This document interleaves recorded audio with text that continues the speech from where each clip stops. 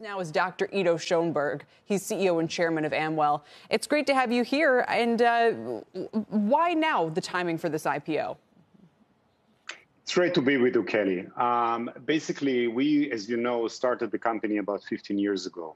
And we were set to develop a pretty ambitious uh, goal, which is to connect the key players in healthcare, namely providers, payers, uh, consumer aggregators, and innovators in order to improve uh, financial and clinical outcomes in way of connectivity. Um, that uh, very long uh, mission requires enormous amount of time and uh, capital. Uh, we believe that by uh, going public today, we will be able to basically get the resources that we need in order to grow both organically and inorganically in a way that aligns our shareholders with our mission. Yeah. Uh, as you probably know, we grew the company with many strategic uh, partners for many years. And if you think about it, while they've been terrific, uh, one of the great benefits of uh, going public is making sure that the only thing our shareholders, uh, new shareholders, care about is the success of the company and the realization of our mission and therefore it made it made a lot of sense. Sure. So you also, of, of, course, are facing Teladoc, which has had a big year and just did this merger with Livongo to increase its size and scale. So let's talk about your size and scale. It's pretty amazing uh, to take the month of April. Your pandemic or your visits uh, were up to forty thousand a day from twenty nine hundred for the same period in 2019. So just explosive growth. More than half of your total visits, I, I, believe, since your founding, occurred in the past six months. So how do you take this momentum? And keep it going, you know, especially for people who probably think they're just doing this as a one or a one off, something like that, and then it's going to be back to business as usual. Yeah, like many things in life, nothing is as good or as bad uh, as it seems.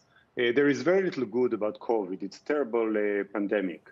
Uh, COVID forced a lot of people to be locked in their home. And since they had no choice, they tried telehealth for the first time. When I say people, I of course mean patients, but I also mean doctors.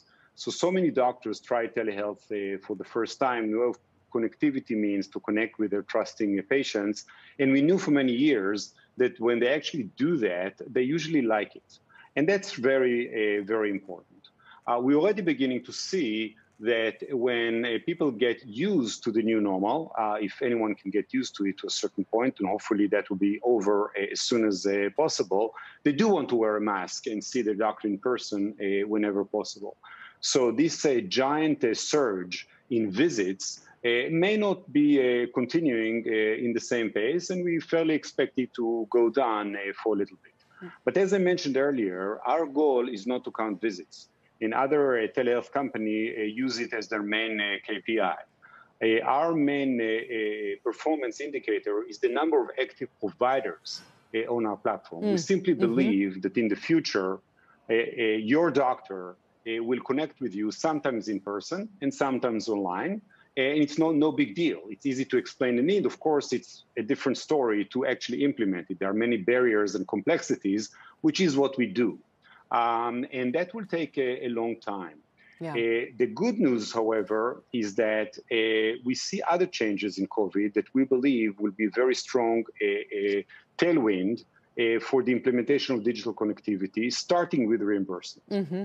So the fact that uh, CMS is growingly reimbursing uh, telehealth, we see more and more payment in parity, which of course should be uh, the method of, of paying doctor fairly for their time. There is no real difference if I meet my patient online uh, or in office in way of uh, the compensation I deserve as a doctor. That's very conducive. Uh, to the model that we have uh, created. Yeah. Uh, our goal is simply to allow our parents, our grandparents, maybe ourselves, Uh, to age gracefully in our home and allow us to uh, connect to the existing healthcare system uh, whenever uh, possible. Yeah. So it's not the doc in the box in the cloud. It's basically another tool in the tool set of uh, our trusting providers. And that will take years to develop. Yeah. we are patient enough to build the platform that will enable that enormous transformation.